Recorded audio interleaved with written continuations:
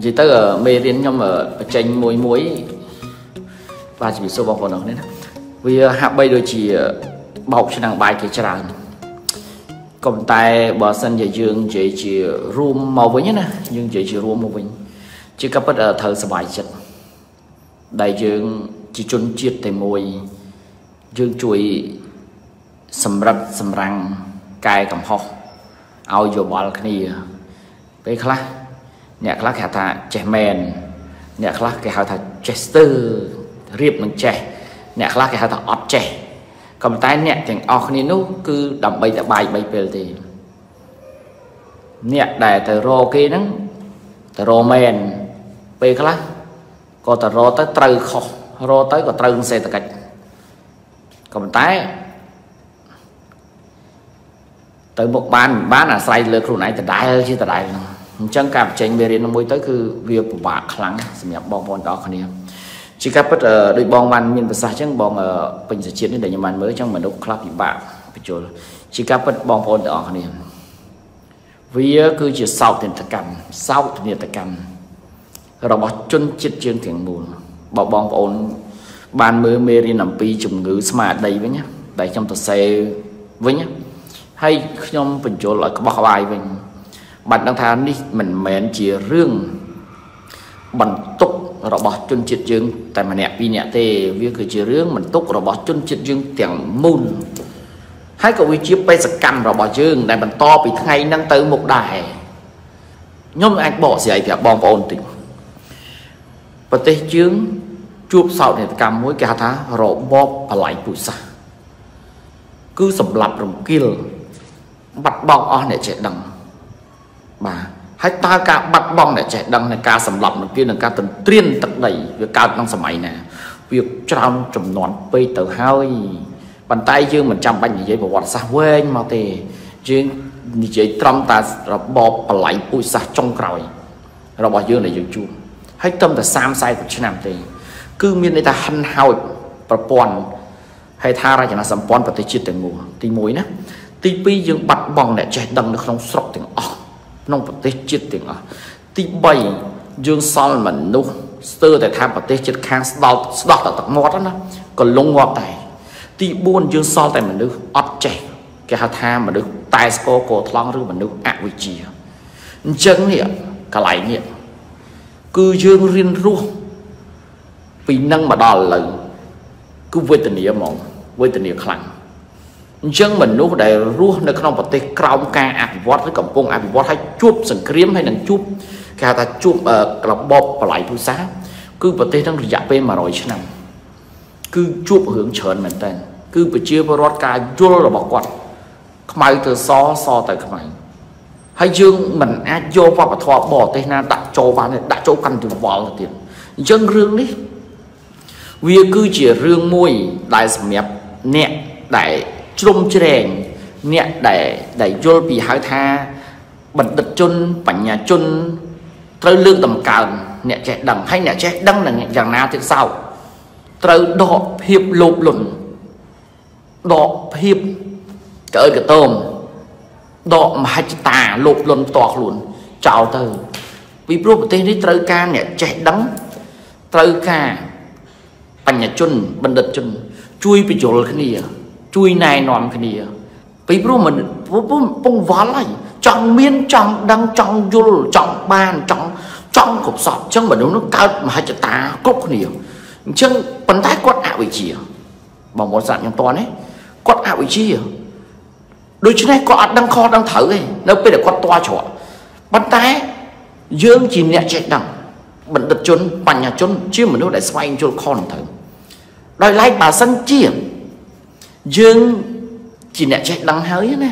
យើងមានសេចក្តីលោភលន់យើងហៅបពពួករបស់យើងមកចងជាសម្ព័ន្ធលោភលន់អញ្ចឹងតើគ្រោះនេះ វាទៅជាគ្រោះរបស់នរណាប្រជាជនបងប្អូនដែលគេគ្នាគិតខ្លីអញ្ចឹងយើងងាកមកបច្ចុប្បន្នភាពនឹងវិញអ្នកចេះដឹងប្រមាណអ្នកដែលរៀបកាឡា បតៈស៊ីបោកស៊ីធ្វើបាបប្រជាពលរដ្ឋស្លូតត្រង់ដែលគ្នាគាត់ចង់រស់ចង់ដឹងតែគ្នាអវិជ្ជាគ្នាចង់ទៅកន្លែងហ្នឹងគ្នាគិតតែយើងជាបណ្ឌិតហើយ ជាអ្នកចេះដឹងហើយ ជាអ្នកស្វែងយល់ហើយ គ្នាចង់ទៅបានដំណោះស្រាយទីបំផុតយើងបោកគ្នាទៀតអញ្ចឹងរឿងនេះគឺជារឿងដែលគ្នាបាក់តគ្នាហ្មងគ្រាន់តែឃើញអ្នកមានអំណាច អ្នកចេះដឹង អ្នកយល់ពេលខ្លះអ្នកនៅក្រោមចង់ស្ដោះទឹកមាត់ដោយសារហេតុអីគឺប្រទេសជាតិទាំងមូលងើបរើបំរាស់គេថារបបខ្មែរងឹតពីភាពអវិជ្ជាមកមានវិជ្ជាឥឡូវយើងធូរហើយអញ្ចឹងបើសម្រាប់អ្នកចេះហើយអ្នកមានអំណាចអ្នកទាំងអស់គ្នាហើយបែរជានាំគ្នារួមគ្នាធ្វើបាបបោកប្រឆោតប្រជាពលរដ្ឋនោះរឿងប៉ុណ្ណាថ្ងៃនេះ 146នាក់ឥឡូវមិនទាន់ដើរទៅមកខ្ញុំសែរឿងមួយជូនបងប្អូនទាំងអស់គ្នាសម្រាប់ក្មេងចំនួនក្រោយបោកបញ្ឆោតល្បិចខូខើសាហាវហ្មងគេហៅថាភូមិសាស្ត្រភូមិសាស្ត្រនយោបាយសាហាវសាហាវហើយខ្ញុំទើបតែទទួលរឿងហ្នឹងរយៈពេលប្រហែលជាចុងក្រោយខ្ញុំស្ដាប់ទៅខ្ញុំគិតថាខូខើខ្លាំងហ្មងអញ្ចឹងខ្ញុំចែកចម្លែកជូនបងប្អូនទាំងអស់គ្នាតិចហើយបងប្អូនចង់ដឹងជួយតម្លាក់អឺ មតិយោបល់ថាចង់ដឹងឥឡូវខ្ញុំនិយាយបដាបដាជូនបងប្អូនទាំងអស់គ្នាណាជួយ share ទៅហើយស្ដាប់ទៅបងប្អូនទាំងអស់គ្នាត្រូវពិចារណាបន្តិចណាមេរៀនរ៉ូស៊ីមកដល់សប្តាហ៍ថ្ងៃនេះគេលក់ក្នុង10មេរៀនគ្រប់គេល្អណាគេលក់1000ដុល្លារ10មេរៀនគ្រប់គេរៀងធូរតិចគេលក់500 10មេរៀនគ្រប់គេដែលរៀងអន់តិចគេលក់30ដុល្លារ35គ្រាន់តែមេរៀនធ្វើដាក់ YouTube សោះលក់យកលុយដែរ អូយខ្ញុំមិនដឹងថាសុកយើងនេះវាទៅជាសុកអីទេ បាទអញ្ចឹងខ្ញុំចែកលេខនឹងមួយហើយខ្ញុំតមកដល់រឿងនេះមួយទៀតក្មេងក្មេងមួយក្រុម បាទក្មេងក្មេងមួយក្រុម ដែលមានអាយុចាប់ពី35ចុះក្រោមហើយនឹងមានការចូលរួមជ្រុំជ្រែងពីថ្នាក់លើរបស់គេដែលមានអាយុច្រើនដែរបងប្អូនចាំមើលល្បិចរបស់គេគេធ្វើមិនទី1គេទៅសេអេបមួយ ខ្ញុំអត់បញ្ជាក់ក្រុមហ៊ុនណាទេតែខ្ញុំដឹងថាខ្ញុំនិយាយហ្នឹងអ្នកស្ដាប់ហ្នឹងដឹងត្បងហើយអ្នកអត់ដឹងប្រយ័ត្នទៅណាប្រយ័ត្នទៅប្រយ័ត្នចាញ់បោកគេគេទៅសេអេបមួយហើយបងប្អូនស្គាល់អេបទេគឺអាកម្មវិធីមួយ download មកយើងយកទៅប្រើណាបងប្អូនទៅចាំណាអេបនឹងមួយអញ្ចឹងអេបអាហ្នឹងគេអក្សរ A W P អេបអញ្ចឹង app ហ្នឹងគេបង្កើតក្រុមទីផ្សារគេមកក្រុម គេដើរចរចា ជាមួយនឹងអ្នកលក់នៅតាមផ្សារ ភោជនីយដ្ឋានហាងសពបែបយ៉ាងទាំងអស់ហើយធម្មហើយគេថាគេនឹងជួយលក់ឲ្យ free ពីព្រោះគេមាន app អញ្ចឹង member របស់គេច្រើនគេនឹង download app ហ្នឹងគេយកផលិតផលរបស់អ្នកយកដាក់ចូលនឹងគេចាប់ដើមថតរូបគេទៅថតរូបគេគេដាក់តម្លៃគេដាក់តម្លៃអញ្ចឹងគេសុំផុសក្នុង app គេតម្លៃប៉ុណ្ណេះទៅអញ្ចឹងបើសិនគេលក់បានគេសុំ commission ខ្លះហ្នឹងណាអញ្ចឹងគេធ្វើបែបហ្នឹងបងប្អូនចាំទេ ចាំខ្ញុំនិយាយអញ្ចឹងគេដើរចរចាគ្រប់ផ្សារទាំងអស់បើសិនគេលក់បានលក់លក់ម្ចាស់តូបម្ចាស់អាជីវកម្មទាំងអស់ណាមិនថាក្រាសាំងក្រៃទៅដែរអញ្ចឹងគេគេគេបាន app ហ្នឹងមកមួយគេបានអ្នកលក់ចូលមក member របស់គេចូលក្នុង app ហ្នឹងហើយសេ app ហ្នឹងថោកទេបងប្អូនទាំងអស់គ្នាថោកទេមិនថ្លៃទេអញ្ចឹង ធម្មតាយើងអាជីវករនៅពេលដែលមានបញ្ញាជនមកក្រុមមកចរចាឲ្យគេយកផលិតផលរបស់យើងដាក់ក្នុង app គេឲ្យគេលក់ជួយលក់លួយលួយយើងសួរបងប្អូនសប្បាយចិត្តទេសប្បាយបាទមានគេជួយលក់ឲ្យអញ្ចឹងយើងព្រមមួយគេមានព្រមមួយគេមានក្រុមហ៊ុនខ្លះបាទអាជីវករខ្លះគេគិតវែងឆ្ងាយគេអត់ព្រមគេគិតថាគេលក់បានអញ្ចឹងដោយឡែកសម្រាប់ដែលអាចធ្វើបានអ្នកដែលធ្វើបានគេបាន app ហ្នឹងគេមានផលិតផលរបស់គេកខកខងោមកច្រើនណាអញ្ចឹងគេមាន app មួយគេមានផលិតផលមួយអញ្ចឹងចាំមើល style បោករបស់គេគេបោកតាមវិធីណាគេបោកពីរប្រភេទ ទី1បោក member ទី2បោកភិហ៊ុនបោក member គេបោកតាមណាអញ្ចឹងនេះគេបោក member តាមរយៈទី1បងប្អូនចាំស្ដាប់ខ្ញុំណាទី1គេឲ្យតំណាងក្រុមរបស់គេហ្នឹងហៅមនុស្សមករកស៊ីជាមួយមកវិនិយោគទុនជាមួយមកធ្វើការជាមួយមកដល់គេបញ្យលកវែកកឆ្នាំងមួយពីរផលប្រយោជន៍របស់គេអញ្ចឹងអញ្ចឹងគេអញ្ចឹងបើសិនជាអ្នកចង់ខ្លាចជាអ្នករស់ស៊ីជាមួយគេ ចង់ខ្លាចជាម្ចាស់ក្រុមហ៊ុនហ្នឹងអ្នកគ្រាន់តែទិញ share សិតទៅតែ2លានជាងទេដល់ហើយហ្នឹងឡើយខ្ញុំនិយាយលុយ200 500ដុល្លារជាងទេអ្នកនឹងបាន app ហ្នឹង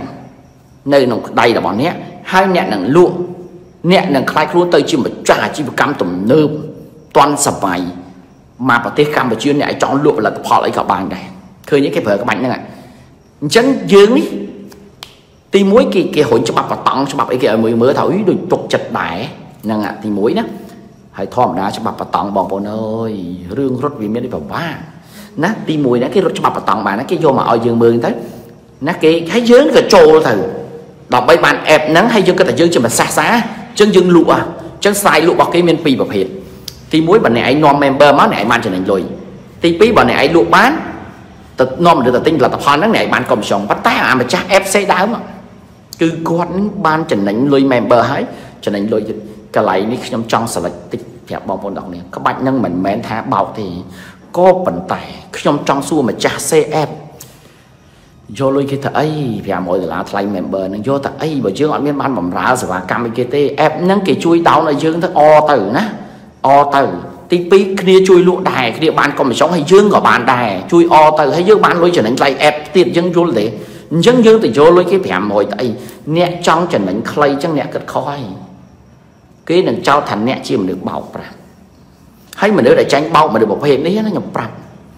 ចាស់ចាស់ទៅចាញ់បោកក្មេងអាអ្នកសេអែមសពួកក្មេងក្មេងអាយុក្រោម30ជាងទេហើយណាមេកធំរបស់វាអាយុប្រហែលខ្ទង់30 40ដែរហ្នឹងឃើញទេយើងអាយុ50ជាង40ជាងទៅចាញ់បោកអាក្មេងក្មេងអស់ហ្នឹងអាហ្នឹងចំណុចមួយចំណុចមួយទៀតវាបោកសាហាវវាធ្វើដើម្បីឲ្យបានលុយយើង500ជាង វាដឹងថាយើងលក់បានបានវាអត់ខ្វល់ទេតែសំខាន់វាចង់ស៊ីលុយដបងហ្នឹងតើវាស៊ីលុយដបងហ្នឹងតាមរយៈអីខ្ញុំចង់ជម្រាបប្រាប់បងប្អូនគ្នាវាបញ្ជុលយើងកវែកកឆ្នាំងហើយណាយើងប្រាប់វាថាអត់លុយទេតែវាមានមួយក្រុមទៀតឲ្យលុយយើងខ្ចីហេធ្វើឲ្យលុយយើងខ្ចីហើយឲ្យយើងផ្ដិតមេដៃពុកនៅកិច្ចសន្យាទៀតនៅកិច្ចសន្យាទៀតនៅកិច្ចសន្យាទៀតហើយឲ្យយើងផ្ដិតមេដៃពុកទៅផ្ទះ អញ្ចឹងស្អែកឡើងគេមកមកដោនមកធៀបចំកម្មវិធីយើងយើងបានអេបតែយើងជពាក់លុយគេមានក្រាស់កិច្ចសន្យាជពាក់លុយដល់តែពេលមួយអាទិត្យពីរអាទិត្យទៀតគេថាគេត្រូវការលុយជួយប្រវត្តិលុយសងទេផងឃើញទេអញ្ចឹងកាឡានេះគឺជាកាឡាដែលស៊ីលុយមុខក្រោយបងប្អូនតន់ណាតន់អញ្ចឹងតើលុយខ្ចីហ្នឹងមិនការពិតអេបហ្នឹងប្រើអស់លុយទេចូលក៏មិនអស់លុយដែរតែគេប្រើកាឡាថាបើមិនបានលុយថ្ងៃហ្នឹងយល់លេះអ្នកឯងជពាក់ខ្ញុំគង់តែអ្នកឯងសងខ្ញុំវិញ ល្បិចនឹងសាហាវណាបងប្អូនទាំងអស់គ្នាក្រុមហ៊ុនហ្នឹងនៅក្នុងពេញនឹងរាល់ថ្ងៃហើយធ្វើចលកសាហាវមែនតើហើយបងប្អូនប្រជាពលរដ្ឋសិតនៅក្នុងសម័យកូវីដនេះ គឺគាត់ជពាក់បំណុលធនាគារនៃការរកស៊ីពីដើមហើយឥឡូវកូវីដគាត់ពិបាកអញ្ចឹងគាត់សល់លុយតិចតួចគេចង់វិនិយោគទុនចង់រកស៊ីអញ្ចឹងមកដល់សម័យនេះគឺក្រុមហ៊ុននឹងខ្លាំមនុស្សហើយបោកមនុស្សសាហាវបំផុតនឹងខ្ញុំនិយាយរឿងមួយហ្នឹង រឿងមួយទៀតគេបោកទី2ទៀតដៃគូរបស់សរៀងសរៀងសេរីសេរីហ្នឹងសរៀងសេរីសេរីតើគេបោកតាមវិធីបែបណាគឺគេប្រើ style លក់ហ៊ុនក្រុមហ៊ុនរបស់គេគឺអត់មានហ៊ុនណាត្រូវដែលអាចដែលយកវាស់ទ្រព្យសម្បត្តិសាពើភ័ណ្ឌដែលតម្លៃថ្លៃបានទេតែគេចេះពុះហ៊ុនគេចេះលក់ហ៊ុនកន្លែងនេះគឺវាជន់ខ្ពស់បន្តិចគឺច្បាប់ពីហ៊ុនដូច្នេះខ្ញុំគ្រាន់តែមិនបញ្យកពេលវេលានេះបញ្យល់បងប្អូនទេតែខ្ញុំចង់ ឲ្យបងប្អូនជល់ថាដរាបណាលុយចេញពីកប៉ៅបងប្អូនទាំងអស់គ្នាសូមប្រយ័ត្នមកដល់សប្តាហ៍នេះប្រទេសដែលកំពុងអភិវឌ្ឍហើយជួបសោកនាដកម្មប្រល័យពិសាដូចប្រទេសយើងប្រទេសនេះគឺមានប្រព័ន្ធគូក្បាលមួយគេហៅថាសក់អាណាក្បាលហ្នឹងភិជនច្រើនប្រើវប្បធម៌ជន់ពលិចមកដល់សប្តាហ៍ថ្ងៃនេះបងប្អូនទាំងអស់គ្នាអ្នកដែលឆាតឌឺដងខ្ញុំខ្ញុំមិន skin shot បរោះទេ អ្នកដែលខមមិនឌឺដងខ្ញុំក៏ខ្ញុំមិនខ្វល់ដែរអ្នកដែល share លៀបពណ៌ខ្ញុំក៏ខ្ញុំមិនខ្វល់ដែរសុទ្ធតែជាកូនសោះហើយនឹងសោះចំណិតគ្រូជោគជ័យទាំងអស់ទោះបីជាខ្ញុំឆែកមើល profile តិចខ្ញុំស្គាល់ដល់កញ្ចៅគូតខ្ញុំចង់ប្រាប់ទី1ស្រុកយើងប្រទេសយើងលំមឆ្អែតឆ្អន់ហើយអ្នកចេះដឹង អ្នកចេះដឹងនឹងមានផ្ទះនៅហើយ មានឡានជិះហើយ មានទ្រព្យសម្បត្តិសាពើភ័ណ្ឌហើយលំមដល់ពេលយកពេលវេលានេះចែកជូនជម្រាបជូនផ្ដល់ឱកាសចែកចាយដោយគុណធម៌ទៅណាដោយគុណធម៌ទៅប្រទេសយើងមិនហាយសូដោយអាមេរិកដូចកូរ៉េខាងត្បូងទេប្រទេសយើងគឺជាប្រទេសក្រីក្រដូច្នេះបណ្ឌិតនិងបញ្ញាជនលំមបាយ3ពេលនឹងវាគ្រប់ហើយពីព្រោះដោយសារតែយើងក៏មិនដឹងថាយកស្អីទៀតដែរទ្រព្យសម្បត្តិ លុយកាក់អ្វីដែលគេមាន យើងមានអស់ហើយហើយយើងយកតែអីទៀតបានស្អីមកវិញរបស់ហ្នឹងឥឡូវឧទាហរណ៍បានលុយច្រើនទុកចោលធនាគារដដែលទិញផ្ទះច្រើនក៏មិននៅឡានច្រើនក៏មិនជិះយើងសុខភាពមិនល្អយើងជិះកង់ទៀតហើយអញ្ចឹងយើងទៅបោកគ្នាទៅអីយកពេលវេលាហ្នឹងបង្រៀនគ្នាបញ្យលគ្នាឲ្យគ្នានោះដើរទៅផ្លូវត្រូវឥឡូវនេះខ្ញុំឧទាហរណ៍មួយអារឿងបោកមនុស្សខុសសេដ្ឋកិច្ចហ្នឹង ដំណាក់កាលដែលយើងពិបាកនឹងការនាំផលិតផលចេញដំណាក់កាលដែលយើងពិបាកក្នុងការប្រជែងជាមួយនឹងសេដ្ឋកិច្ចអតលយភាពដោយសារកូវីដចុះហេតុអីយើងទៅបញ្ចុះបញ្ចូលប្រជាពលរដ្ឋឲ្យគាត់នោះទុកដីធនីចោលឲ្យគាត់លែងធ្វើស្រែធ្វើចំការអលិញឆាញ់លែងចិញ្ចឹមសត្វហ្មងឲ្យគាត់ យកដីមកឲ្យយើងសិទ្ធិកម្រងអភិវឌ្ឍលុយនឹងបង្វិលឲ្យគាត់នៅពេលក្រោយហើយឈូសឆាយដីគាត់ហើយចាប់ផ្ដើមរៀបពុះឡូលោកហើយយើងនេះមួយចំនួននេះអត់ដឹងខ្យល់ទេចាញ់បោកអាមេខ្យល់បង្កើតជាប្រព័ន្ធមួយ100ពីហ៊ុនទៅប្រមូលគ្នាចូលទុនចូលទុនណាបាទម្នាក់4 50000 4 50000ដើម្បីទៅនិយាយជាមួយប្រជាពលរដ្ឋហើយកក់លុយប្រជាពលរដ្ឋខ្លះដើម្បីបានដីឡូមួយចំនួន យកមកធ្វើតំបន់អភិវឌ្ឍពេលដែលលក់បានហ្នឹងបានលក់ប្រជាតទៀតហេតុអីបានធ្វើអញ្ចឹងខ្ញុំចង់ជម្រាបជូនបងប្អូនទាំងអស់គ្នាសេដ្ឋកិច្ចវាអាចដើរដល់នឹងអត់ទី1 181,035គីឡូម៉ែត្រការ៉េប្រជាពលរដ្ឋមាន6 10លាននាក់កន្លែងនេះយើងពិចារណាកាត់ចាស់ចោលកាត់ក្មេងចោលសក់4 5លាននាក់មនុស្សនៅអញ្ចឹងតើដីធ្លីយើងរីកទៅដល់ណាទៀតអំពីវិស័យដីធ្លីកន្លែងហ្នឹងខ្ញុំអត់ទាន់ថាដីធ្លីខុសមិនខុសប៉ុន្តែអ្វីដែលខុសមួយទៀតគឺ យើងនាំយុវជនមកក្រុមលែងរៀនលែងសោតទៅស្រែកជោគជ័យលក់ដីឡូអាហ្នឹងអត់ទាន់ខុសទៀតខ្ញុំនិយាយចឹងចុះរឿងដែលខុសមួយទៀតដែលយើងយកពិចារណាចុះបាទគឺមនុស្សអត់ដឹងអីចង់ទៅរកស៊ីតែមានទ្រព្យបញ្ចាំទៅប្រចាំលុយ3 40000យកទៅដាក់ទុនមួយយើង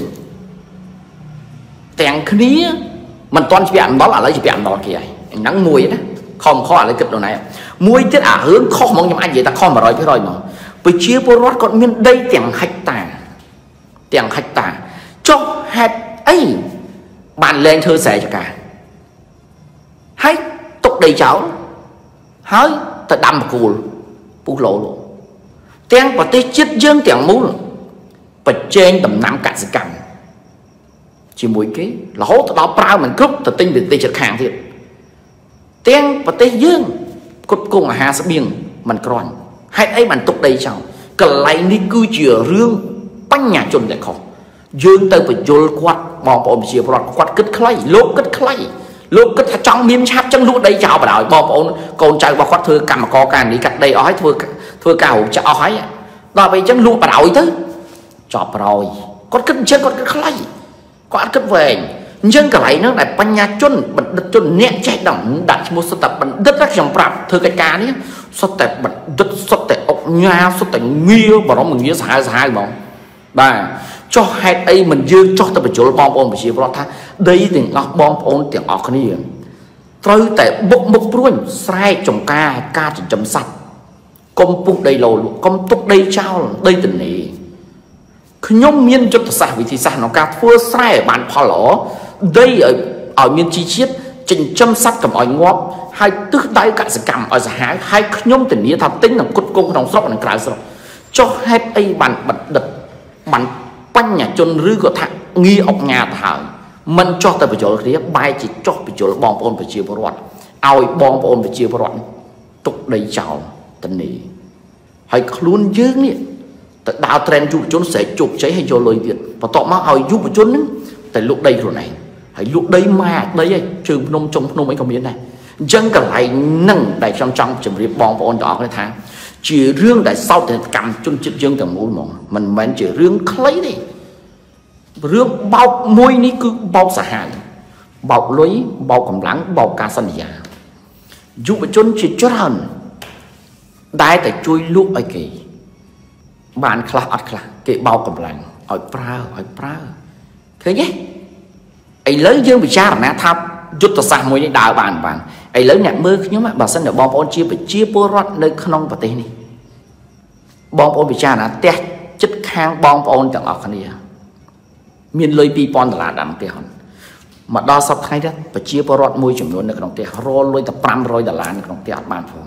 យើងទៅប្រឆេះភ្លើងកំផឹងមហិច្ឆតាឲ្យគាត់គាត់យកស្រែយកចំការ យកដីធ្លីទៅប្រចាំដើម្បីយកលុយបានមហោស៊ីមួយយើងទាំងគេថាអវិជ្ជាពីមុនមនុស្សនឹងគ្រូបានសុខ5 600 1000ឯងមួយខែមួយខែគាត់វិលជុំគាត់អត់ខ្វះគាត់មានលុយទុក5 600ឡាស្រែចំការដីធ្លីរបស់គាត់កូនចៅធម្មតាតែឥឡូវលេងនាំនេះយកច្បាប់ដាក់កលេងស្ពាក់ណុលហើយរស់ចិញ្ចឹមក្តីសបិនបំភ័យបច្ចុប្បន្នភាពចិញ្ចឹមក្តីសបិនហ្នឹងថាវថ្ងៃក្រោយអញនឹងខ្លាយខ្លួនទៅជាលោកនេះ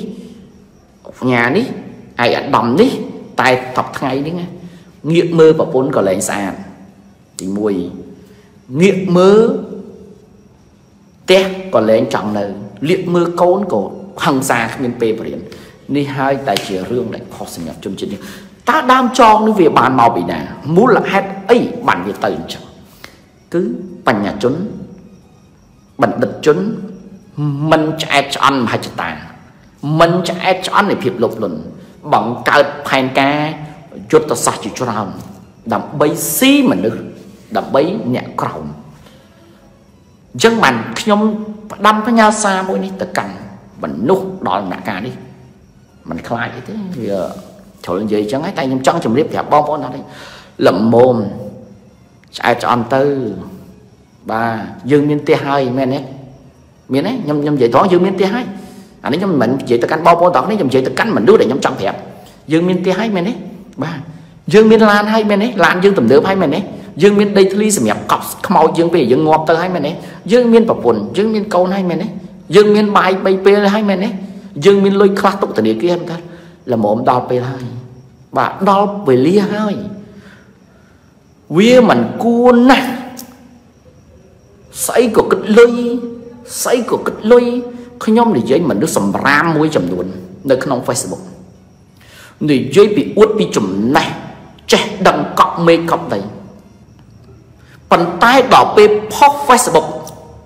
ផុស Facebook ហ្នឹងតាคลิปបើកវគ្គបរៀនទេហើយចង់ចេះចង់ដឹងចុះឈ្មោះបងលុយប៉ុន្តែពីដើមឡើយគេនិយាយមិនខ្ ញុំគ្រប់គ្រងក្រុមហ៊ុននេះគ្រប់គ្រងជំនួយនេះក្នុងសម័យកូវីដគឺมันបរាជ័យដោយសារតែខ្ញុំដឹង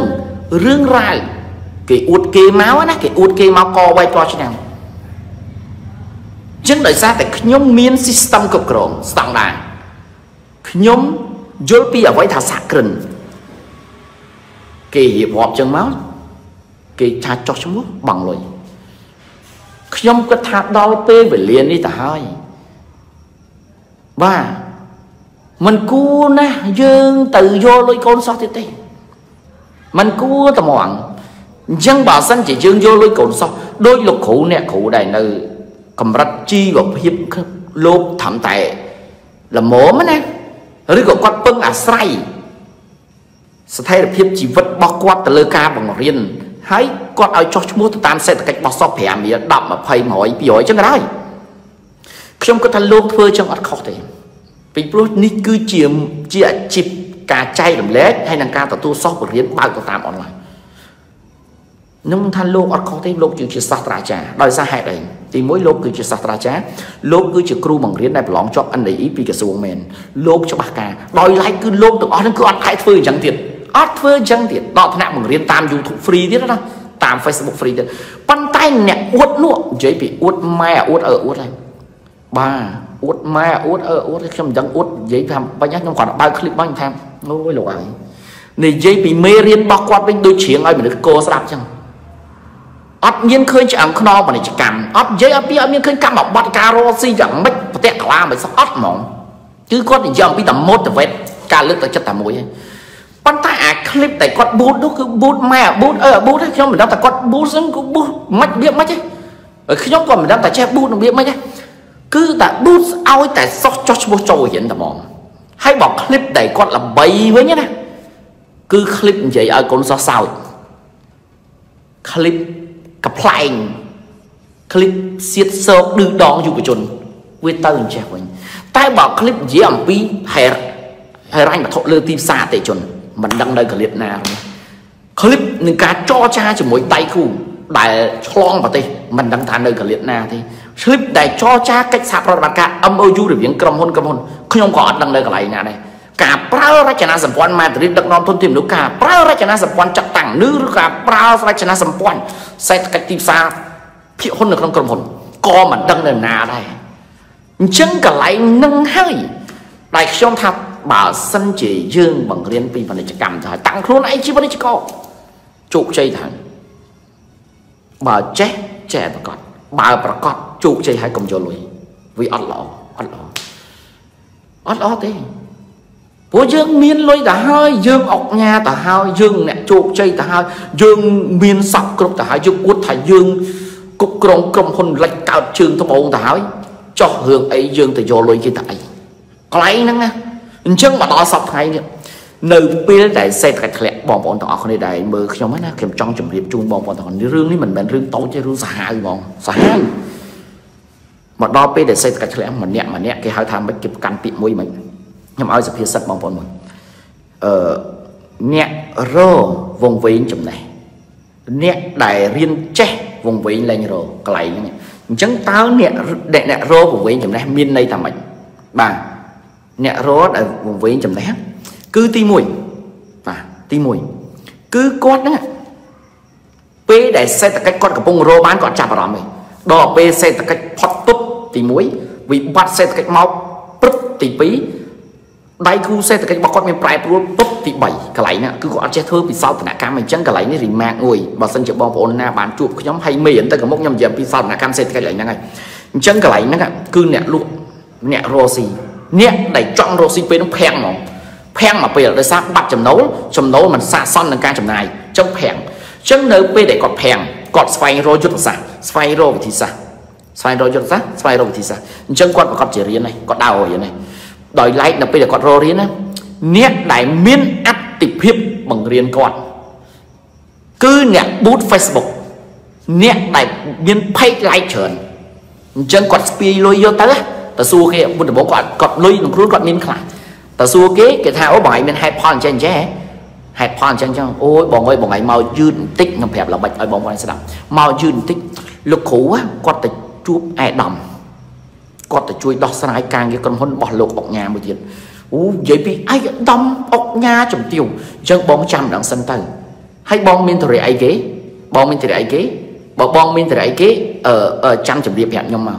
អញ្ចឹងគាត់ប្រាប់ប្រាប់ប្រាប់សោះចំណិតគេណា បាទប្រាប់សោះចំណិតគេ1 2 3 4អញ្ចឹងទៅបាទ1 2 3 4អញ្ចឹងទៅអញ្ចឹងបងហេតុផលហ្នឹងនៅក្នុងមាន លោកបងឯងរស់ស៊ីអត់មានមូលដ្ឋានគ្រឹះពាណិជ្ជកម្មសោះហ្មង1 2 3 4អត់មានសោះហ្មងដល់ពេលយើងភ័យយើងស្លន់ស្លោបាទយើងភ័យយើងស្លន់ស្លោយើងយើងយើងយើងភ័យបាទអញ្ចឹងដល់ពេលកន្លែងហ្នឹងកន្លែងហ្នឹងណា ចុះឥឡូវយើងមានវិធីសាស្ត្រគេសួរបងខ្ញុំមានលោកគ្រូគាត់ទុកមេរៀនឲ្យ10មេរៀននេះគឺបងឯងមានមូលដ្ឋានគ្រឹះមកហើយបើសិនជាបងឯង10មេរៀននឹងអត់ច្បាស់ទៀតបងឯងមកប្រឹក្សាយោបល់ផ្ទាល់ជាមួយលោកគ្រូមកបាទផ្ទាល់ជាមួយលោកគ្រូមកអញ្ចឹងគេចាប់ដើមលក់មេរៀនឲ្យយើងណាបាទយើងយកមេរៀនទៅមើលអាមើលហើយមេរៀនគេមក1 2 3 4យើងមើលចប់ហើយចប់ហើយយើងមើលអត់ជុលនៅរហូតដំណោះស្រាយអត់បាន ដល់ពេលយើងរកដំណោះស្រាយបាន យើងទៅជួបគេម្ដងទៀតគេស៊ីតង់ទី2ចន្លោះពី500ទៅ1000ជាងកន្លែងហ្នឹងអញ្ចឹងអាហ្នឹងហើយគេហៅថារស់នៅក្នុងរចនាសម្ព័ន្ធសម្ដែងប្រើចំណេះដឹងជាគោលបោកមិនបោកខ្ញុំអត់ធានាទេអាស្រ័យទៅលើបងប្អូនគិតខ្លួនឯងទៅរឿងហុងស៊ុយនឹងដូចគ្នាដែរអ្នកដែលចេះប្រកប ខ្ញុំជម្រាបប្រាប់បងប្អូនគេអត់ធ្វើក្បាច់ហ្នឹងទេក្បាច់ដែលខ្ញុំបកស្រាយវីដេអូឃ្លីបបោកហុងស៊ុយហ្នឹងគឺក្បាច់ហ្នឹងគេអត់ប្រើទេអ្នកចេះប្រកបដោយសារហេតុអីបាបណាស់ខ្ញុំប្រាប់បាបសាហាវហ្មងនរកហ្មងឲ្យទៅហ៊ានប្រើក្បាច់ហ្នឹងអញ្ចឹងចាំខ្ញុំជម្រាបជូនបងប្អូនទាំងគ្នានៅក្រៅរៀបកន្លែងនេះអញ្ចឹងកន្លែងនេះអាការដែលចាប់ដើមបើកក្បាលដំបូងនេះគឺខ្ញុំសំដៅសំដៅដល់រ៉េចហ្មង បើមានបងប្អូនមួយដែលគាត់សួរខ្ញុំមិញខ្ញុំខ្ញុំមើលតន់គាត់ថាខ្ញុំនិយាយ5បន្តិចហើយតែខ្ញុំសំដៅទៅណាណាបាទខ្ញុំចង់ជម្រាបជូនបងប្អូនទាំងអស់គ្នាណាសំដៅទៅជនជ្រកកោនឈ្មោះថាបណ្ឌិតបញ្ញាជន ដែលបោកបងប្អូនដែលគ្នាកំពុងតែវង្វេងនៅក្នុងពាណិជ្ជកម្មដែលយកពាក្យថាគ្រូ មកដល់សពថ្ងៃនេះបងពួកនោះយកគ្រូលៀបពណ៌ខ្លួនឯងដើម្បីឲ្យមានឈ្មោះថាម្ដាយម្ដាយគឺព្រមវិយធម៌ហើយនិយាយទៅសោះសោះស្ដាប់ខ្ញុំថាបើសិនជាប្រើស្ទាយបោកសោះកុំឲ្យសោះហៅយើងថាគ្រូនរកទី2គឺខ្ញុំចង់និយាយអំពីជំនឿខុសបែបបត់ខុសបែបបត់ណា អញ្ចឹងកន្លែងនេះខ្ញុំបានធ្វើមេរៀនហើយខ្ញុំមិនបញ្យល់វែងឆ្ងាយទេហើយអ្វីដែលនិយាយនេះគ្មានគោលបំណងខ្លឹមសារណាទេក្រៅពីចង់ជួយបងប្អូនទាំងអស់គ្នាអញ្ចឹងអូខេបងប្អូនទាំងអស់គ្នាឥឡូវខ្ញុំចំណាយពេល30នាទីឥឡូវអញ្ចឹងក្រុមហ៊ុនដែលបោកប្រាស់ដែលខ្ញុំជំរាបខាងលើនេះអញ្ចឹងបងប្អូនចាំទៅបាទចាំទៅអញ្ចឹងថ្ងៃនេះយើងទៅបានទេបើទៅបានខ្ញុំបញ្យល់តាក់ទងពីលុយ500ដុល្លារពីវគ្គថ្ងៃអាទិត្យមុនណា អញ្ចឹងមេរៀនមេរៀនទី6ស្មារតីអង្គប្រជុំប៉ុន្តែថ្ងៃនេះយើងចូលមេរៀនទី7ហើយអញ្ចឹងមេរៀនទី7ហើយសេលេខ7ហ្នឹងតែតពីភូមិសាស្ត្រទីតាំងអញ្ចឹងកន្លែងទីតាំងកន្លែងនេះគឺខ្ញុំដាក់អញ្ចឹងតមេរៀនទី7ហ្មងអញ្ចឹងខ្ញុំបាច់ទុកអាចារ្យដោយសារវាតពីស្មារតីអង្គប្រជុំមកនេះអង្គប្រជុំរបស់យើងដែលយើងប្រើប្រើហ៊ុនម្នាក់100ដុល្លារ120ដុល្លារដើម្បីបង្កើតហ៊ុន500ដើម្បីសរសេរផែនការទៅលុបហ៊ុន50ដើម្បីបង្កើតទុន5000ដុល្លារដើម្បីបោវិនិយោគទុនទីតាំងអញ្ចឹងដល់ពេលចូលមេរៀននេះ គឺយើងត្រូវយកទីតាំងយើងមកអន្តឡាយតំបន់សេដ្ឋកិច្ចវិញអញ្ចឹងកន្លែងនេះសម្រាប់ជូនបងប្អូនទាំងអស់គ្នាវិញបាទអញ្ចឹងខ្ញុំទៅបានទេទៅបានខ្ញុំបញ្ចូលបងប្អូនទាំងអស់គ្នាអញ្ចឹងឈរសេហ្មងបាទខ្ញុំឈរសេហ្មងអញ្ចឹងនៅពេលដែលយើងមានទីតាំងរបស់យើងមកអញ្ចឹងទីតាំងរបស់យើងឧទាហរណ៍ថាយើងមានអាគារ2ល្វែងដែលគេឲ្យយើងមកបាទអញ្ចឹងយើងប្រើទុនតែ500ប៉ុន្តែពេលហ្នឹងគឺយើងអាចឆក់កន្លែងនេះបាន5000មានចាស់របស់យើងស្មើហ្នឹងស្មើនឹង50ជាទ្វេភាគី កន្លែងនេះបងប្អូនមើលឲ្យទាន់កន្លែងនេះស៊ីជម្រៅណាបាទកន្លែងស៊ីជម្រៅមែនតើអញ្ចឹងកន្លែងនេះបងប្អូនមើលមួយមួយហើយកន្លែងណាអត់យល់អាច screenshot ចាំទុកមកសួរខ្ញុំវិញព្រោះកន្លែងនេះយើងប្រើតិចនិចលុយតែ100ដុល្លារអាចរកស៊ីឈុតធំបានបាទគេប្រើបញ្ញាអញ្ចឹងកន្លែងនេះមិនមែនរាល់ថ្ងៃអ្នកចេះដឹងរាល់ថ្ងៃគឺអត់ប្រើអាហ្នឹងឯងគេប្រើអាហ្នឹងដូចគ្នាគេប្រើល្បិចតិចនិចកន្លែងហ្នឹងដូចគ្នាអញ្ចឹងកន្លែងនេះពេលដែលយើងបានទីតាំងហើយអញ្ចឹងទីតាំងរបស់យើងបាទគឺផលិតផលនិងសេវាកម្ម ដើរតួឯនៅផលិតផល product បាទ product ហើយនិង service ចឹង product និង service នេះយើងគ្រាន់តែមាន sample ទេយើងអត់ទាន់មានជា stock ជាអីកាត់ទេប៉ុន្តែពេលនេះតើយើងវាយពី5000ទៅ50000ហើយទៅជាសមាជិកបែបណាពេលនេះគឺយើងអត់ចង់តន់ចង់បានលុយទេគឺយើងចង់បាន team version បាទ team version ពីព្រោះលុយយើង stock មាន5000ហើយអញ្ចឹង team version បាត់នេះ គឺយើងតែរៀបទីតាំងរបស់យើងគេហៅថាបន្ទុកបាទបន្ទុករ៉ូស៊ីរបស់យើងឲ្យវាត្រូវ team work របស់យើងអញ្ចឹងបន្ទុករ៉ូស៊ីនេះគេហៅថាកាយចល័យអញ្ចឹងតើយើងរៀបចំកាយចល័យហ្នឹងសំដៅទៅអ្វីបាទសំដៅទៅអ្វីអញ្ចឹងកាយចល័យមួយនេះដែលបងប្អូនមួយចំនួននៅពេលដែលគាត់ចាប់ដើមចូលលគាណាចូលលគាអញ្ចឹងគាត់ធ្វើតាមបែបផែនសាសនារបស់គាត់ អញ្ចឹងបើអ្នកកាន់សាសនាណាកាន់ជំនឿណាគាត់ធ្វើឯងគាត់ធ្វើតាមបែបផែននៃសាសនានៃជំនឿរបស់គាត់ប៉ុន្តែដោយឡែកនៅក្នុងប្រទេសកម្ពុជារបស់យើងហ្នឹងនៅពេលដែលគេចូលអាគារទី1គេសូត្រមុនក្រុងវេលាសូត្រមុនក្រុងវេលាបងប្អូនចាំអញ្ចឹងសូត្រមុនក្រុងវេលាដូចអត់អស់ច្រើនទេការតៃវត្ថុនតៃទានដែលយើងប្រគេនប្រសងមុនមួយអង្គពីរអង្គបីអង្គ4អង្គរបស់យើងតាមអាចារ្យដែលយើងរៀនហ្នឹងគាត់អស់ច្រើនទេអញ្ចឹងកន្លែងហ្នឹង គឺរៀបកន្លែងហ្នឹងមួយទៀតដោយឡែកដែលយើងនិយាយអំពីថាទៅរៀបហុងស៊ុយឲ្យត្រូវពណ៌ត្រូវឆើតឆាយត្រូវអីកន្លែងនេះខ្ញុំខ្ញុំមិនមែនបដិសេធទេតែខ្ញុំចង់ជម្រាបជូនបងប្អូនពីររឿងវិញឲ្យបងប្អូនចូលកន្លែងចូលរំលេចឯងបាទពីររឿងទី1រឿងហុងស៊ុយនិងពណ៌និងការដាក់របស់របរ ខ្ញុំនិយាយអំពីសេដ្ឋកិច្ចពាណិជ្ជកម្មហ្មងខ្ញុំអត់ចង់ឲ្យបងប្អូនគិតបន្លកន្លែងហ្នឹងឯងគឺមានន័យថា office របស់បងប្អូននេះអតិថិជនទី1ណាលោកដែលមកហ្នឹងសម្រួលផាសុខភាពលោកនឹងការតាក់ទាញអតិថិជន យើងគិតថាបែបផែនណា ដែលត្រូវនឹងផលិតផលសេវាកម្មហ្នឹងធ្វើទៅ វាគ្មានអាណាព្រះជាម្ចាស់ជាងយើងតែជាម្ចាស់ទេណាអាហ្នឹងទី1 ទី2កន្លែងទីតាំងហ្នឹងរៀបឲ្យត្រូវនឹងក្រុមការងារបងប្អូនទាំងអស់គ្នាទៅក្រុមការងារបងប្អូនទាំងអស់គ្នាហ្នឹងណាលោកសบายចិត្តក្នុងការធ្វើការកន្លែងបែបម៉េចពណ៌ស្អីផាសុខភាពបែបណាធ្វើទៅ វាមិនទះបាញ់ងាប់ទេគាត់ចិត្តតែមនុស្សពីររឿងទៅតកែល្អហើយគាត់ចិត្តតែពីររឿងទៅរឿងទី1ខ្ញុំជម្រាបបងប្អូនទាំងអស់គ្នាគឺអតិថិជន គឺយើងត្រូវរៀបកន្លែងរបស់យើងឲ្យផាសុខភាពត្រូវនឹងអតិថិជនតែអតិថិជនចង់បាន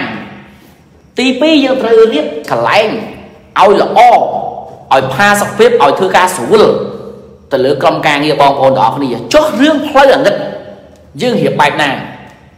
បាទយើងរៀបបែបណាទី1ខ្ញុំជម្រាបជូនបងប្អូនទាំងអស់គ្នារឿងផ្លូវអាណិតសោតមុននឹងក្រុមពលាសែនព្រេងប្រភូមិនិងម្ចាស់ផ្ទះនេះបើយើងកាន់សាសនាពុទ្ធនិងសាសនាបែបព្រំកាត់ពុទ្ធសាសនាពួកខ្មែរយើងច្រើនលាយឡំនឹងព្រហ្មញ្ញសាសនានិងពុទ្ធសាសនាដោយសារមុនយុវៈសម័យអង្គរមុនប្របាទជ័យប្រមាណទី7ខ្មែរយើងកាន់ ព្រាហ្មណ៍សាសនាឬព្រហ្មញ្ញសាសនានឹងឯងប៉ុន្តែដោយឡែកនៅពេលដែលព្រះអង្គជ័យប្រមាណទី7កាន់បានរំលាយសាសនាពីរចូលពេលតែមួយបានកាន់ទាំងពីរទៅបានកាន់ព្រំផងពុទ្ធផងឧទ្ទិសបា8ទាំងអស់ទៅកាន់ពុទ្ធមកផងហើយប្រជាពលរដ្ឋហ្នឹងលោកក៏ចាប់ផ្ដើមគិតទៅ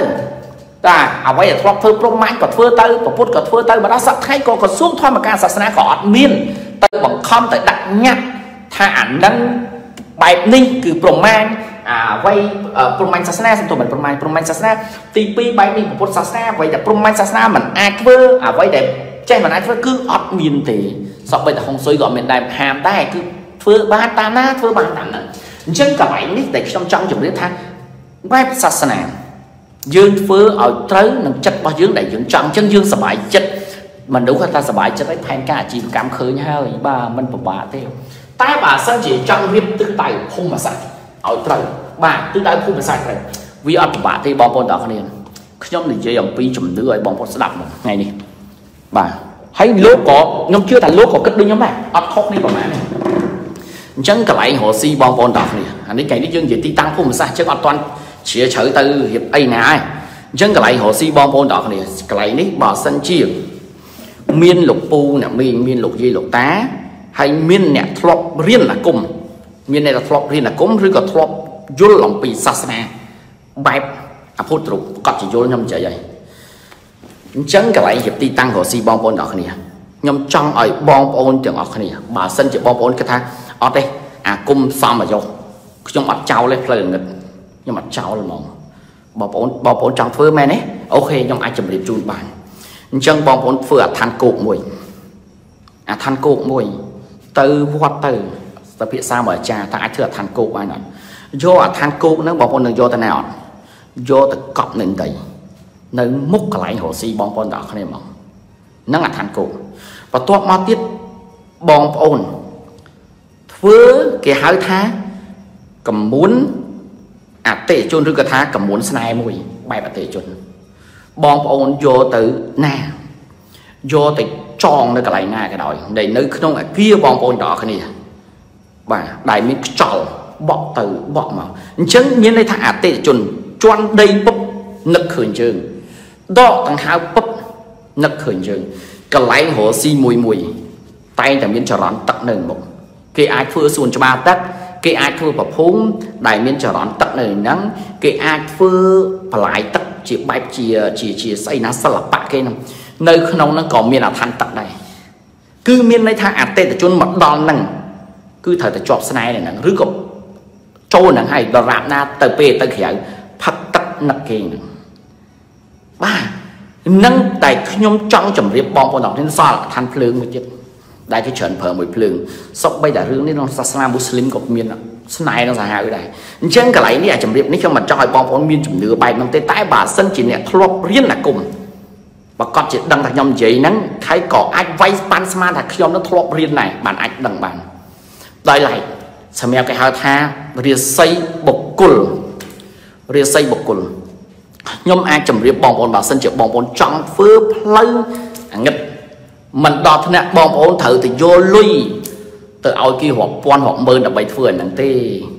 អញ្ចឹងបងប្អូនចាំចាំមកផ្លែខ្ញុំទៅយកឲ្យមើលរិស័យបុគ្គលមាន2រឿងចាំខ្ញុំផ្លែខ្ញុំទៅយក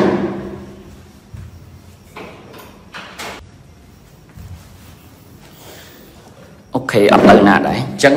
បងប្អូនអឺបាទអញ្ចឹងខ្ញុំចង់និយាយអំពីរិស័យបុគ្គលរិស័យបុគ្គលមាន2រឿងទី1គេហៅថាផ្លូវភ្លឺផ្លូវភ្លឺបើសិនជាយើងរស់ស៊ីដាច់ខាតកុំក្បត់ប្រពន្ធកុំក្បត់បុគ្គលិកកុំក្បត់ប្តីកុំក្បត់បុគ្គលិកគឺមនុស្សយើងស្រឡះហ្មងស្រឡះខ្ញុំប្រាប់ប្តីប្រពន្ធណារឿងដែលมันអាចលើកលែងឲ្យគ្នាបាន លបែងរំលាយផ្ទះมันអាចលើកលែងគ្នាបានបើមានលបែងចូលឲ្យមនុស្សទាំងទូបីម៉ែណាក៏ស្រោចសងបានដែរទី2គឺក្បត់គ្នាมันថាស្រីឬក៏ប្រុសឯងអញ្ចឹងរឿងនេះបើចង់ឲ្យមានរស័យបុគ្គលនៅក្នុងរស់ស៊ីសូមកុំក្បត់ប្តីប្រពន្ធកុំក្បត់បុគ្គលិកហ្នឹងទី1ផ្លូវភ្លឺរឿងផ្លូវងងឹតខ្ញុំប្រាប់បងប្អូនទាំងគ្នាបងប្អូនមានតែជន់នេះមួយម៉ែអើអាមហាស័ក្តិសិទ្ធិឯង ខ្ញុំហ៊ាននិយាយបើសិនថាខ្ញុំចង់ដាក់ផ្ទាល់ទៀតអ្នកធ្វើអំពើមួយខ្ញុំបើសិនចង់ធ្វើអំពើខ្ញុំត្រូវខ្ញុំចង់ថ្វាយអង្គមហ្មងឲ្យតែបងប្អូនមានយន់នេះនៅដៃបើខ្លាចតែខ្ញុំអត់មានយន់នៅដៃទេអត់យកទៅតាមខ្លួនទេតែបើយន់នៅចិត្តខ្ញុំ24ម៉ោងទោះបីម៉ែធ្វើអំពើឲ្យធ្វើមិនត្រូវដែរអានោះភ្លើងហើយសពបីតែចំនៀងផ្ទះម្ចាស់ទឹកម្ចាស់ដីក៏កោតប្រសើរនឹងគ្រប់ដែរហើយបងប្អូននឹងយន់នឹងញន់អីបាទខ្ញុំលាឲ្យបងប្អូនមើល ហើយបងប្អូនមើលទៅហើយធ្វើទៅមានលទ្ធភាពធ្វើបងប្អូនបងប្អូនមើលទៅបាទបងប្អូនមានឃើញស្នាមបាត់ដៃបាត់ជើងទេបាទបងប្អូនមានឃើញស្នាមបាត់ដៃបាត់ជើងទេបាទអញ្ចឹងបងប្អូនមានដឹងថាបាត់ដៃបាត់ជើងនេះជាបាត់ដៃបាត់ជើងរបស់នរណាទេ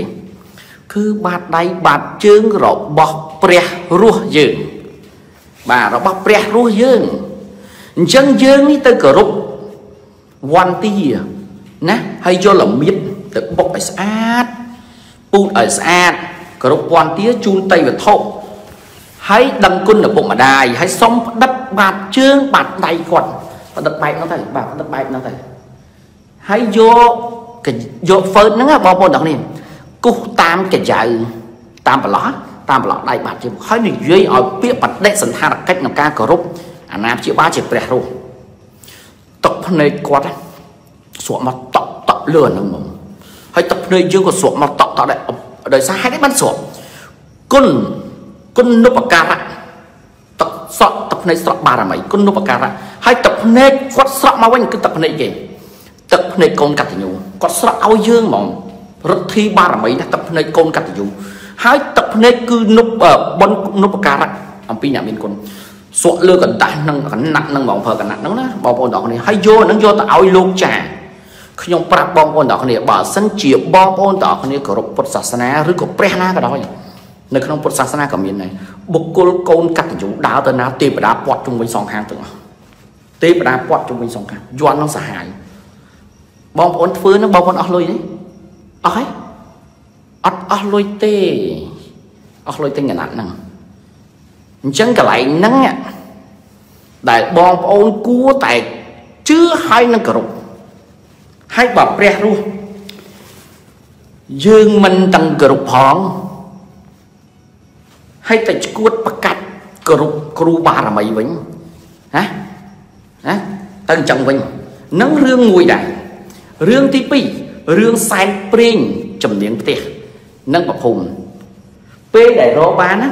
អត់ដែរគិតតែខ្លួនឯងខុសឯងកន្លែងហ្នឹងធ្វើស្អីប៉ាត់ណាប៉ាត់នេះ ដល់ពេលខ្លួនឯងរត់បានណាគិតតែខ្លួនឯងខុសកន្លែងហ្នឹងបងប្អូនបញ្ចាត់រឿងជំនាញផ្ទះនិងប្រភូមិបន្តិចអញ្ចឹងកន្លែងនេះខ្ញុំនិយាយទី1គ្រឿងយន់យន់អឺអឺបាតជើងឪពុកម្ដាយបាតដៃឪពុកម្ដាយហើយបើសិនជាបងប្អូនមានព្រះរស់នៅចិត្តនៅឆ្ងាយក៏ដោយក្នុងកំឡុងពេលនេះគឺបងប្អូនមានឱកាសច្រើនកុំឲ្យថ្ងៃលិចបងប្អូនយល់ទេថាថ្ងៃលិចមានន័យថាម៉េច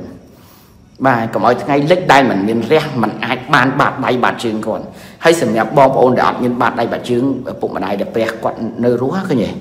សោកនេះកម្មស្ដាយស្ដាយបងប្អូនទាំងគ្នាអញ្ចឹងកន្លែងហ្នឹងហើយគាត់អាចយកអ្នកមានគុណរបស់គាត់ជាពូជាមីងឥឡូវបងប្អូនទាំងគ្នាអ្នកមើល200អ្នកជាងបើសិនជាគិតថាខ្ញុំនិយាយខុសបងប្អូនអាចបញ្ចេញមតិបានប៉ុន្តែខ្ញុំមិនមែនថាការពី លើកំណត់ខ្ញុំត្រូវតែបងប្អូនគិតមើលថា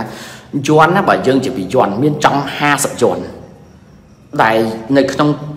សភៅកម្ពីយន់ប៉ុន្តែ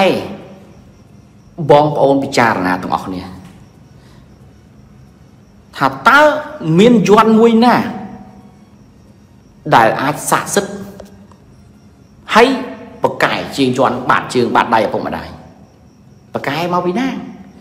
ហើយឬក៏មានព្រះណា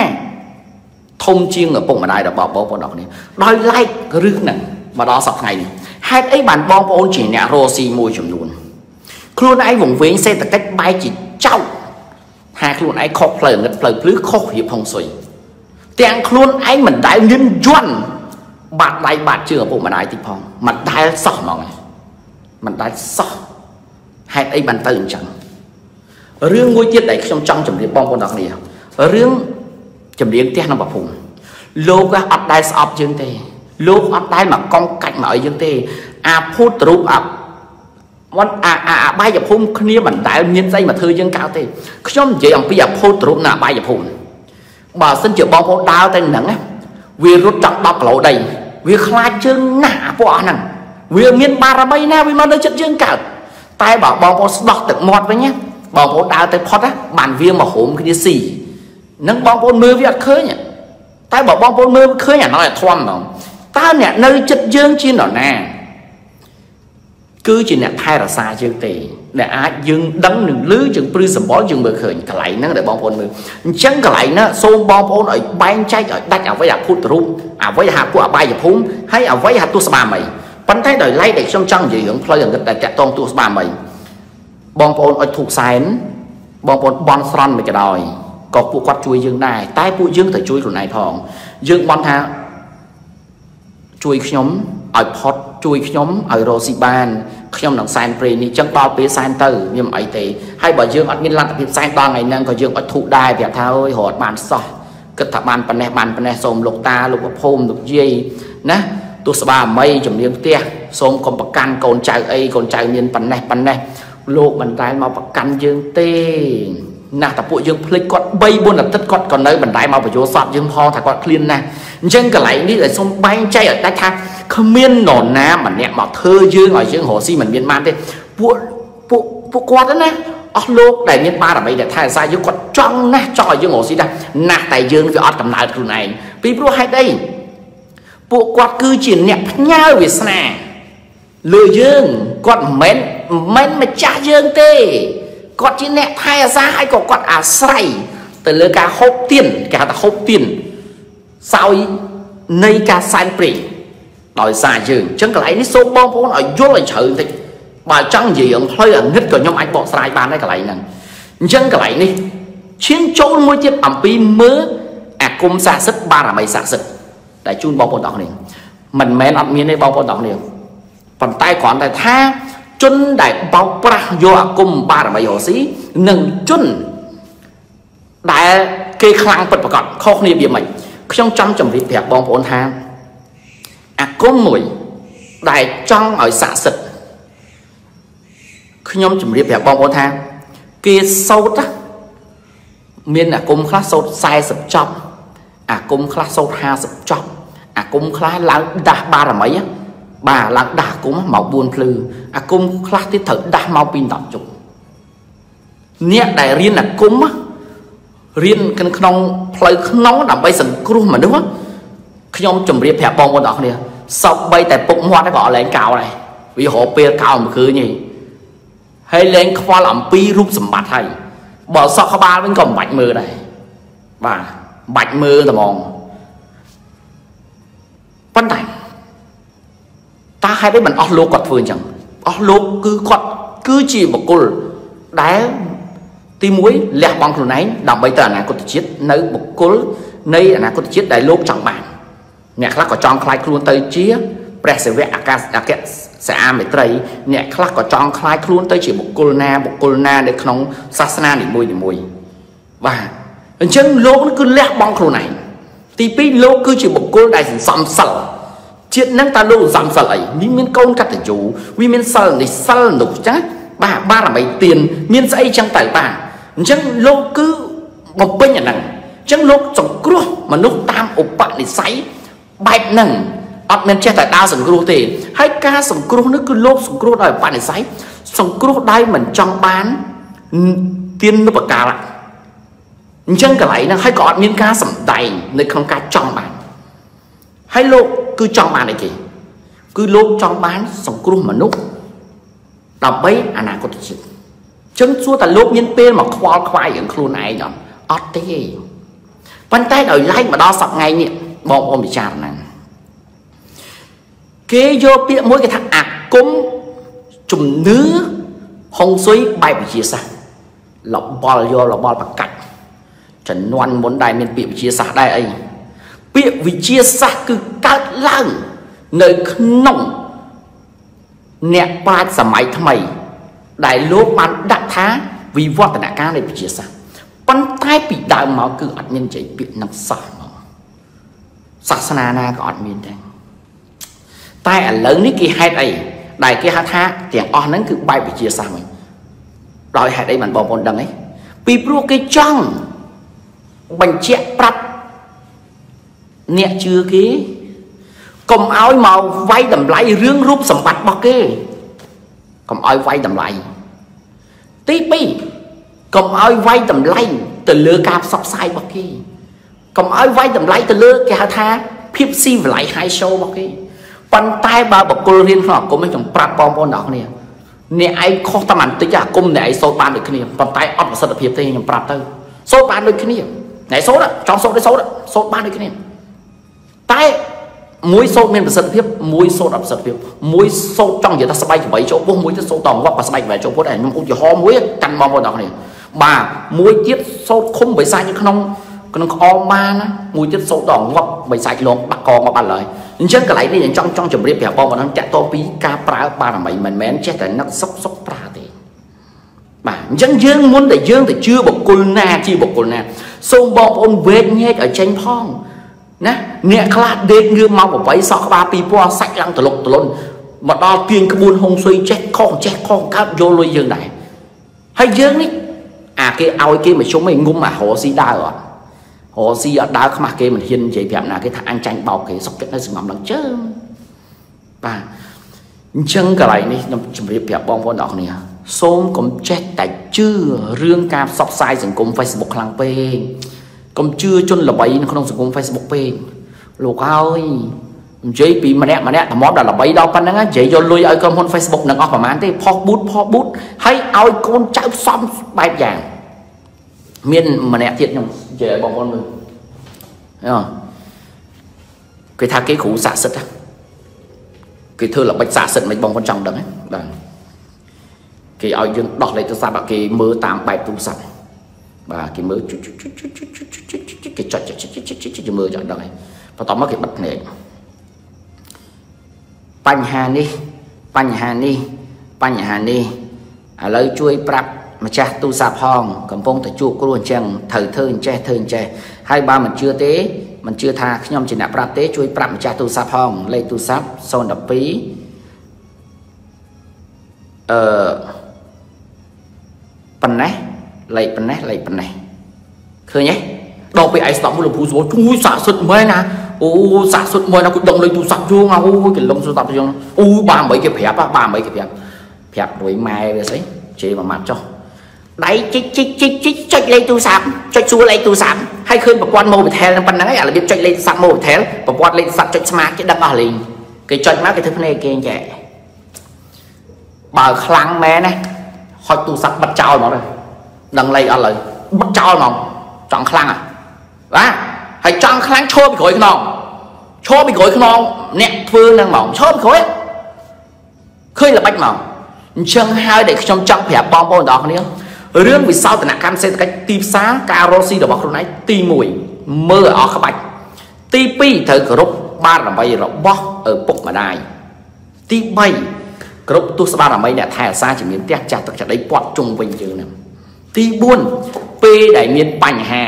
កុំតម្លាក់បន្ទុកទៅលើកូនចៅទៅលើប្រពន្ធប្តីថាខុសអូកន្លែងនេះមានអាខ្លះឈួតចឹងទៀតរស់ស៊ីដើអត់មានបន្ទុកប្រពន្ធប្តីទេដល់ពេលដែលរស់ស៊ីធ្លាក់ចាប់ដើមថាមកពីអញយកប្តីខុសមកពីយកប្រពន្ធខុសបាទអអ្នកខ្លះទៀតនៅម្នាក់ឯងរកជោគជ័យដល់ពេលដែលមានប្រពន្ធរកស៊ីធ្លាក់បាយជាបន្ទោសមកប្រពន្ធខ្លួនឯងមុនមានប្រពន្ធ ខំខ្វប់គុណប្រពន្ធដល់ពេលដែលមានប្រពន្ធឈួតដើរលេងផឹកស៊ីមួយពូម៉ាក់ហើយលេងលបែងហើយនឹងមានស្រីហើយបែរជាមកបន្ទោសប្រពន្ធថាដោយសារប្រពន្ធអញបានរកស៊ីមិនឡើងការពិតវាឈួតគ្រប់រឿងទាំងអស់អញ្ចឹងកន្លែងនេះខ្ញុំនិយាយអំពីទីតាំងភូមិសាស្ត្រនៅសល់ទៅមុខទៀតចាំខ្ញុំតថ្ងៃស្អែកជូនបងប្អូនទាំងអស់គ្នាប៉ុន្តែដោយឡែកខ្ញុំអត់ចង់ឲ្យបងប្អូនទាំងអស់គ្នាផ្កាប់មុខពេកទេបងប្អូនធ្វើអីឲ្យត្រូវនឹងអតិជនបងប្អូនទាំងអស់គ្នា ទី2បងប្អូនធ្វើអីក៏ដោយឲ្យត្រូវនឹងក្រុមការងារបងប្អូនចង់បាននោះហើយគឺឈ្នះមេឃឈ្នះដីហើយបាទហើយរឿងសែនព្រាងបងប្អូនទាំងអស់គ្នាទម្លាប់សែនមិនសែនអញ្ចឹងទៅកុំដល់ថ្នាក់អតិជនចូលកន្លែងយើងហួយកន្លែងរកស៊ីនេះកន្លែងណាក៏អត់ធូបដែរកន្លែងណាក៏អញញ៉ៃដែរឃើញទេអតិជនគឺអត់សុបាយចិត្តអញ្ចឹងកន្លែងនេះគឺយើងមានកន្លែងសែនព្រេងយើងមួយទៅ បាទកុំដល់កន្លែងណាដាក់ក៏លោកតាកន្លែងណាក៏ដាក់ដល់លោកតានិយាយដល់កន្លែងហ្នឹងខ្ញុំចង់និយាយថាមានអ្នកខ្លះទៀតបង្រាយតែហ្មងឥឡូវបើមិនជឿជិះមកវត្តរោតបាទបានអាលបងកែងផ្លូវវត្តរោតឥឡូវគ្រាន់តែអាកែងផ្លូវលបងហ្នឹងណាសិតតែខ្ទមអ្នកតាអស់ហើយដែលគេបោះចោលឬថាម្ចាស់ទឹកម្ចាស់ដីអស់ឥឡូវផ្ទះម្ចាស់ទឹកម្ចាស់ដីអស់ឥឡូវនេះវាទៅអញ្ចឹងវិញហើយជំនឿហ្នឹងមិនដឹងមកពីណា ជំនឿហ្នឹងខ្ញុំឆ្ងល់ហ្មងមកដល់ថ្ងៃនេះខ្ញុំនៅឆ្ងល់ទៀតហេតុអីក៏ងុកតប់គត់ដល់កន្លែងហ្នឹងឆ្នាំថ្មីដូរផ្ទះលោកតាហើយចុះមកឈូសផ្ទះខ្លួនឯងចោលល្មងទៅទៅដូរផ្ទះលោកតាផ្ទះលោកតាថ្មីច្រើនដូរផ្ទះលោកតាហើយគេថាតដូរឆ្នាំថ្មីតដូរផ្ទះលោកតាបានរស់ស៊ីមានបានណាគេនិយាយចំពីមួយណាសភៅមួយណាឬក៏ឈ្មោះវានិយាយដើម្បីវាលក់ដូរទៀត វាទៅចេះវិញកន្លែងនេះខ្ញុំថានិយាយឲ្យប៉ះអារឿងហុងស៊ុយទៀតតែខ្ញុំមិនចង់និយាយមកតែខ្ញុំចង់វិភាគសេដ្ឋកិច្ចចំណេញស្អីលោកតាគាត់ពងនៅផ្ទះគាត់គាត់សុខសប្បាយផ្ទះគាត់ឲ្យមានសួរគាត់មួយម៉ាត់ថាគាត់ស្រឡាញ់ផ្ទះថ្មីអត់គាត់ស្ដាយផ្ទះចាស់អត់មិនទៅដោផ្ទះគាត់អញ្ចឹងហ្នឹងទីមួយគាត់គាត់និយាយប្រាប់យើងមួយម៉ាត់ឲ្យមកយើងទៅដោផ្ទះគាត់ហើយយើងក៏ចេះជាងលោកតាមែនតែនិយាយមួយគាត់សិនបើលោកតាចង់ដោចាំដោបើលោកតាមិនចង់ដោអាណាគេថាដោឈ្មោះណាដោមែនទី2 ដោហើយអាសូរតែមានកន្លែងបោះចោលឬក៏កប់ចោលយកមកបង្រាយឲ្យរវល់គេរវល់ឯងអ្នកខ្លះគេខ្លាចគេខ្លាចថាខុសផ្លូវងឹតគ្នាមិនហ៊ានប៉ះទេគ្នាមិនហ៊ានយកអានោះទៅបោះចោលទេទុកបង្រាយឡើងពេញហ្នឹងមិនចេះខ្ញុំជីកាត់តែខ្ញុំឃើញរាល់ថ្ងៃតើអើយមនុស្សក៏ល្ងងងងដល់ណាហ្នឹងមួយទៀតដូរហ្នឹងលុយណាណាលុយយើងសោះហើយមិនតែយកលុយហ្នឹងឲ្យបោះចោលគេថាប៉ុណ្ណឹងវាមានអី ដូរប៉ុណ្ណឹងមួយឆ្នាំណាមួយឆ្នាំហ្នឹងយើងរកបានប៉ុណ្ណេះចឹងមិនថារាល់ថ្ងៃរួមគ្នាចាញ់បោកគេទេសពឯអាហ្នឹងក៏ចាញ់បោកគេដែរវាឆោតចង់យើងឆោតឲ្យល្ងងអញ្ចឹងកន្លែងនេះឲ្យយើងទៅរកស៊ីចំណេញលុយមិនកើតបោកសពបីតែអ្នកលក់នៅសាបោកយើងទិញអវ៉ាន់បានដែរហ្នឹងអេខ្ញុំនិយាយចឹងបងប្អូនខឹងខ្ញុំខ្ញុំមិនដឹងឆ្លោយមិនទេបាទហើយសាអសូរតែខ្ញុំនិយាយនឹងបានលុយទៅអត់បានលុយទេលេងឆាញ់ប៉ុន្តែតើនិយាយនឹងនិយាយដើម្បីអីញាក់អលឹក បាទញាក់អលឹកបើសិនជាតូបលោកតាថាអូណាអឺតូបជំនាញផ្ទះម្ចាស់ទឹកចាក់ដីហ្នឹងលោកនឹងបាក់សោហើយយើងក៏អត់មានលទ្ធភាពជួសជុលតែតូបនឹងក៏ខិចហើយវាក៏ចាស់ហើយណាចឹងដូរទៅវាមិនអីទេប៉ុន្តែអ្នកខ្លះក៏ចាស់នៅដល់ខ្សែអីក៏ខិចខ្សែអត់ដែលសម្អាតទេអត់ដែលសម្អាតទេធូបនឹងជឿគេជឿជឿជឿគេអត់ចាស់បាទអត់មួយឆ្នាំបានដកជើងធូបម្ដង បានសម្អាតម្ដងម៉ែអាផេះក្នុងឡើងពុំកពោចេះបាទឡើងពុំកពោចេះហើយធូបឡើងពុំកពោចេះទី1ឆេះផ្ទះងាប់ខ្លួនឯងអត់ប្រយោជន៍ពួកឆេះផ្ទះងាប់អស់ខ្លួនឯងហ្នឹងមិនដែរខ្ញុំសួរទីមើលបងប្អូនដែលឆេះផ្ទះហ្នឹងលោកតាជួយមែនពេលឆេះផ្ទះហ្នឹងអាគុំបាមិនជួយមែនមានតែឡានទឹកទេដែលជួយបានហើយនឹងបងប្អូនប្រជាពលរដ្ឋដែលចិត្តខាងនេះជួយរើអីវ៉ាន់ឃើញទេហ្នឹងហើយអាអាអាពូនផេះអា គោកំណោផេះកាន់តែច្រើនរស់ស៊ីកាន់តែមានបានបើផេះច្រើនរស់ស៊ីមានបានហ្នឹងខ្ញុំទៅកើបផេះខ្ញុំដាក់ផ្ទះហ្មងកន្លែងហ្នឹងណាមួយទី2ហើយមានសួរលោកតាប្រភូមិនឹងម្ចាស់ទឹកម្ចាស់ដីជំនាញទេលោកលោកធុញអត់វ៉ាផ្ទះអញសិតតែផេះហ่ะឆ្អេះឆ្អាបស្អុយលំពេញនឹងអត់ចេះជួយសម្អាតអញផងកន្លែងហ្នឹងសុំឯលោកក៏គិតថាវាផ្ទះយើងឥឡូវ ផ្ទះយើងឲ្យគោផែទាំងអស់បណ្ដោយទៅបើថាផ្ទះលោកតាមខ្ញុំងុំខោផែខ្លួនឯងទៅបាច់រកស៊ីទេតូបហ្នឹងដាក់ផែឲ្យគោដូចភ្នំឲ្យអត់ធូបហ្មងទៅអត់ផ្សែងហុយជុកហ្មងទៅផ្លៃហ្នឹងឲ្យយើងវែកញែកឲ្យចេញឃើញណាពហិក៏ដូចគ្នាដែរខ្ញុំនិយាយដល់រឿងពហិហ្មងគេកសាងលុយគេតាំងម៉ឺនតាំងម៉ឺនដុល្លារបាទលុយគេតាំងម៉ឺនតាំងម៉ឺនដុល្លារគេខំប្រឹងកសាងពហិ ឯងនេះទៅអត់ធូរឲ្យខ្មៅពហិងឹលហើយធូរនឹងកើតក្នុងទសវត្សណាសតវត្សណាចដនប្រពុតមានធូរដែរអីអត់ឡើងខ្មៅងឹលហើយជំនឿជំនឿទៅចឹងទៅអញ្ចឹងកន្លែងហ្នឹងបើយើងក៏ថាអត់ទេតោះឲ្យធូបបានស័ក្តិសិទ្ធអូខេអត់ចុះតែយកធូបហ្នឹងយកមកដោតទៅក្រៅមកដោតក្រៅព្រាមកអាណិតពហិអាណិតអ្នកកសាងណាអាណិតប្រសងដែលលោកឡើងទៅជូតនៅលើនោះលោកស្រឡាញ់ កត់លោកលោកស្រឡាញ់ពហិរបស់លោកសាលាឆាន់របស់លោកដែរអញ្ចឹងរឿងហ្នឹងគឺជារឿងដែលត្រូវវែកញែកឲ្យចេញមុននឹងចាប់ដើមរកស៊ីកុំឲ្យគេហៅថាម៉ូបាំងមានច្រើនរឿងដែលគេហៅថាម៉ូបាំងត្មងហើយខ្ញុំច្បាស់ដែរណាបងប្អូនទាំងអស់គ្នា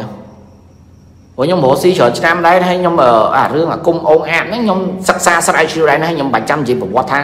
ខ្ញុំ ជ្រាជ្រៅដល់កន្លែងណាទេហើយបើសិនជាបងប្អូនដែលបានស្ដាប់ខ្ញុំពីដើមមកណាដែលខ្ញុំនិយាយរឿងការប្រើអាគុំការប្រើអឋានគោអឋានគោអឋានទឹកអឋានអាកាស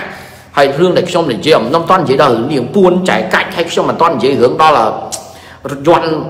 ស័ក្តិសិទ្ធផ្សេងផ្សេងខ្ញុំអត់តន់និយាយខ្ញុំនិយាយអាគុំការដាក់គុំការបាបើបើសិនជាអ្នករៀនផ្លូវក្នុងហើយអ្នកអ្នករៀនផ្លូវទៅ